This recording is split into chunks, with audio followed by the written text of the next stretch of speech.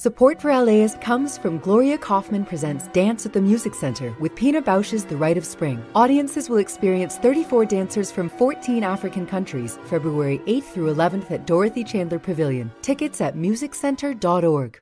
Hi, this is Larry Mantle. Join me and our Film Week critics March 3rd at the Orpheum Theater in downtown LA for our annual Film Week Academy Awards preview. Tickets available now at laist.com slash events.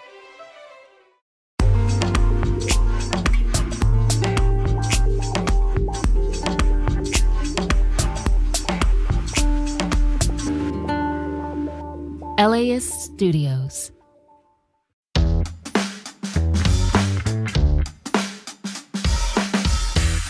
Today on the LA Report, a big deadline tomorrow for renters in Los Angeles, especially renters behind on their rent since the pandemic. The first of two big storms arrives tonight. We have storm prep tips. And later, health centers at UC and Cal State campuses can provide abortion pills to students, but do students know that? We need to work harder if there is a student who needed the service and wasn't aware that they could access it through us and not have to pay for it. We have a report ahead from LA's senior health reporter Jackie Fortier. It's Wednesday, January 31st. I'm Nick Roman. This is the LA Report from LAist 89.3.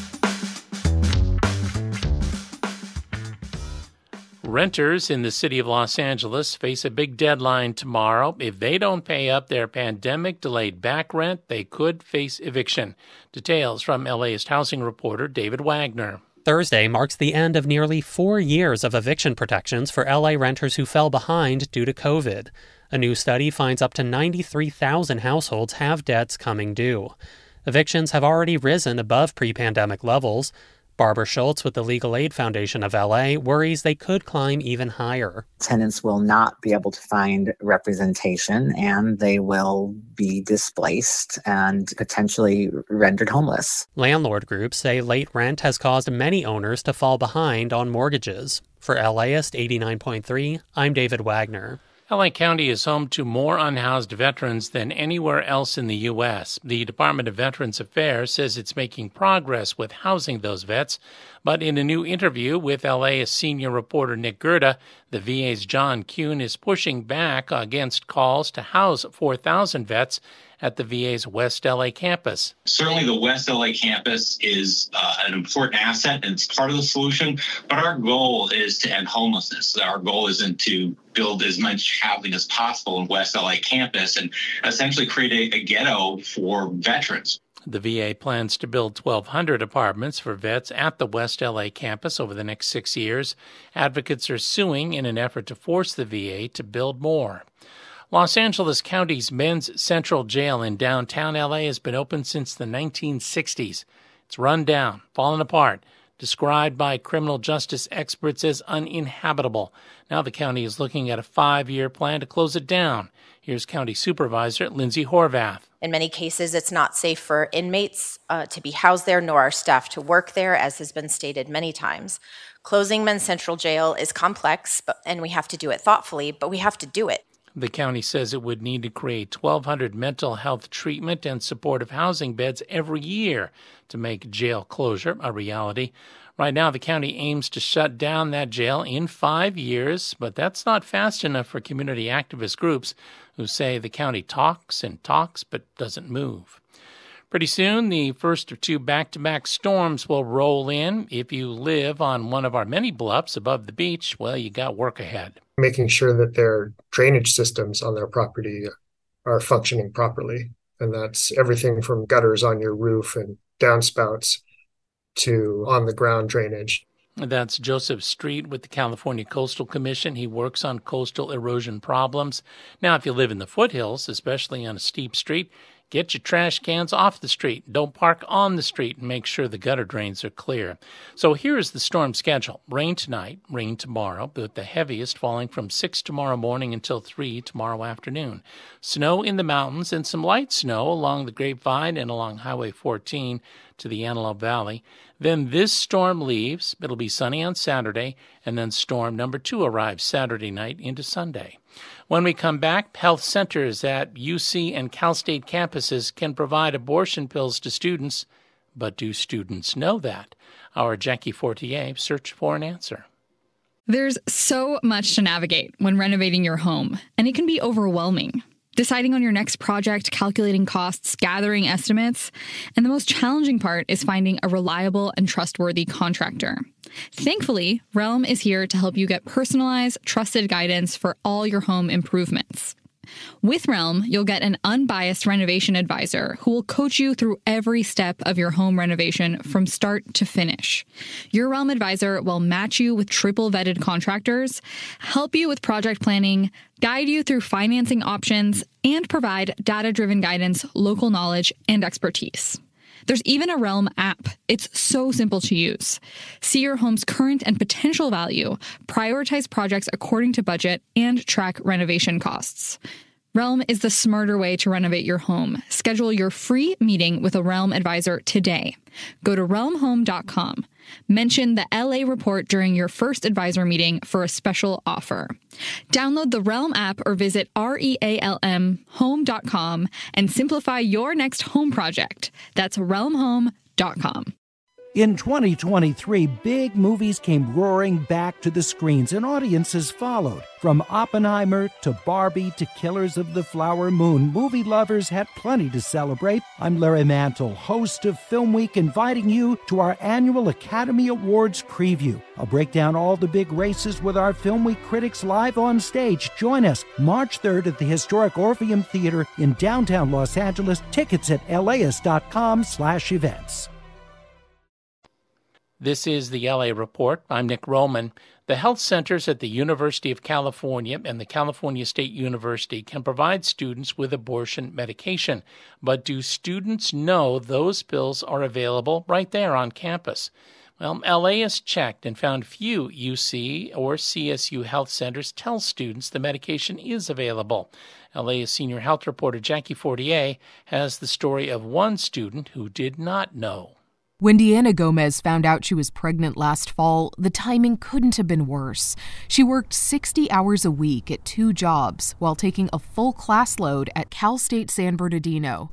She couldn't provide for a child. I grew up poor. And I don't want that for my children, like ever. She wanted a medication abortion where she would take one pill at the doctor's office and another pill a day later to induce cramping and bleeding and empty her uterus. Gomez didn't bother to go to the university health clinic, thinking it was only for basic health needs. Because that's exactly how it was explained to me. She ended up driving more than 300 miles to three different medical offices around Southern California, spending hundreds of dollars. She had no idea she was entitled to a free medication abortion right on campus.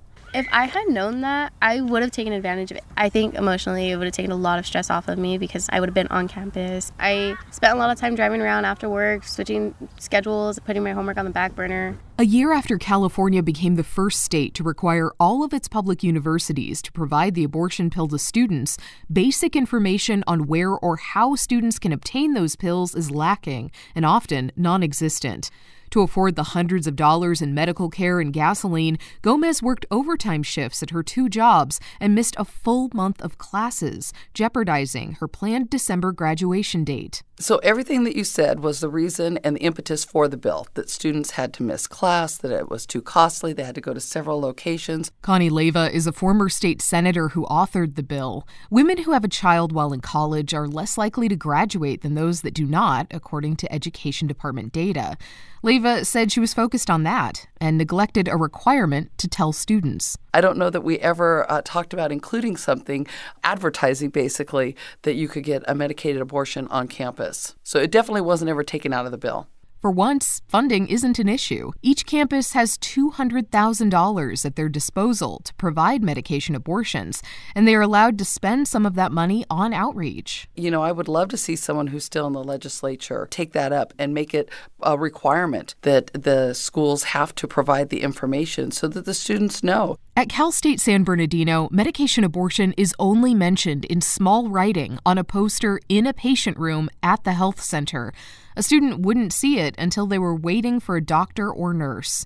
Clinic Director Beth Jaworski. We need to work harder if there is a student who needed the service and wasn't aware that they could access it through us and not have to pay for it but it's one student. We haven't been providing the service very long. It's been just about a year now. After our interview, medication abortion was added to the clinic's website, but Gomez wants more, including posters, emails, and Instagram posts directed at both faculty and students. She says universities should be as vocal about abortion pills as they are about sporting events. You want to market the football games, you want to market volleyball games. You know, why is that important and abortions are not? Gomez did graduate from Cal State San Bernardino, becoming the first person in her family to earn a bachelor's degree, but she's angry at her alma mater. She wants to know why universities keep abortion pills a secret when they could help students like her. For LAist 89.3, I'm Jackie Fortier. Tomorrow, LAist higher education correspondent Adolfo Guzman Lopez looks at what students and faculty on campuses are doing to fill the information gap, and we have a full report online at laist.com.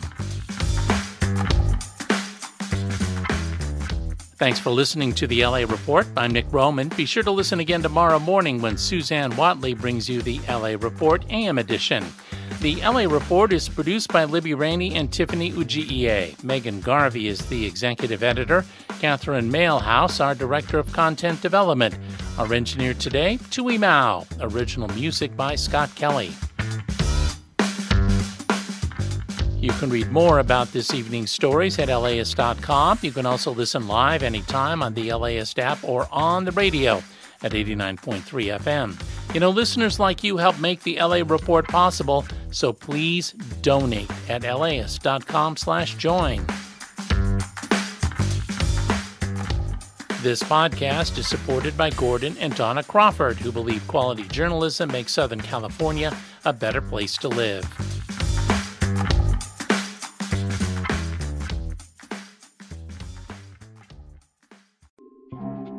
A young correctional officer. He said it was the most dangerous prison in California. Forced to make a choice fulfill his oath or back his fellow officers. Recognize the badge of my office. I'm Sukey Lewis. From KQED Podcasts comes On Our Watch Season 2 New Folsom. A story about who gets hurt when the system that promises to keep us safe is bent on protecting itself. Find it wherever you listen to podcasts.